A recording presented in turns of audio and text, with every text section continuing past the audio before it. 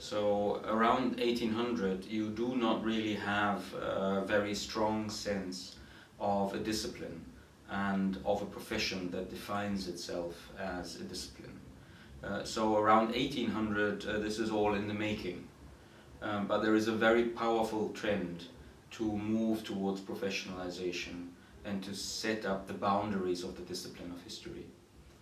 Around 1900 this is arguably at its strongest. So this is a moment in time when historians know that they belong to a discipline, they know what the disciplinary boundaries are, they know how to define that discipline, and they set themselves up as uh, the only ones who, because of their professionalism, can speak authoritatively about the past. Uh, so this is a moment in time when historians feel that um, they have the power over the past.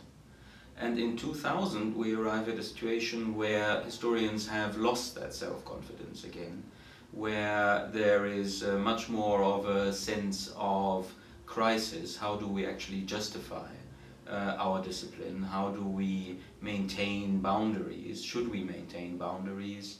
Who can speak about history? Isn't the very fact that we've seen a kind of democratization of history and of the sciences since the 1960s and 1970s that there are now a plethora of voices uh, speaking about the past uh, who all have some claim of speaking authoritatively about the past and can we as historians still claim that we are the only ones because of some kind of training, because of some kind of methodology, uh, because of some kind of theory that we follow, um, have access to uh, the past as it actually happened.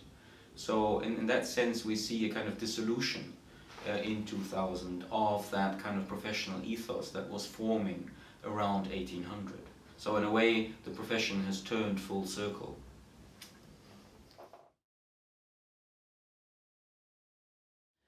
Historiography basically means historical writing. It means writing about the past. Uh, it means telling a story about things that have happened in the past.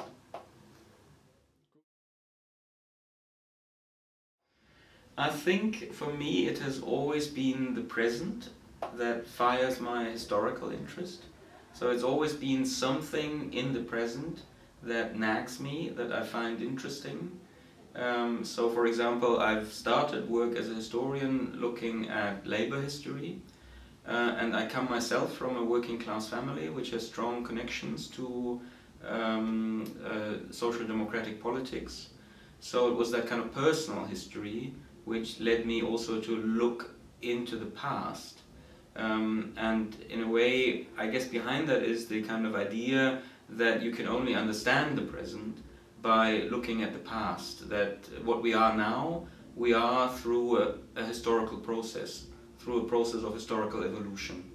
So if you want to understand the present, you have to look at the past. And the same with my topic uh, historiography and national identity. I got interested in that with German reunification in 1990 because suddenly I saw how the interpretations of German national history were beginning to shift.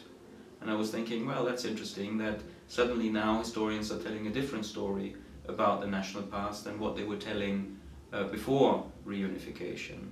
So that got me then thinking, well, how is that relationship between national identity and historical writing? So it's always been something in the present that fired my interest in the past.